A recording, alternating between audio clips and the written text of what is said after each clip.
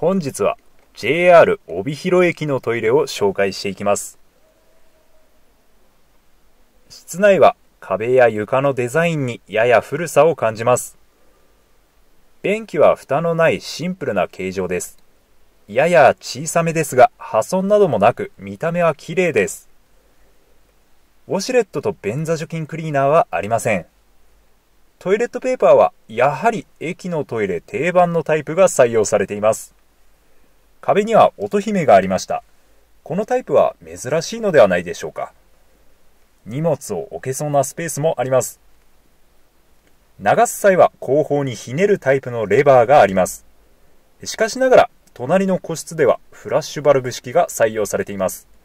これは両方の個室が空いていた場合どちらを使うか悩んでしまいそうです。残念ながら上位に食い込める要素は少ないですがサクッと用を足すには良いのではないでしょうか。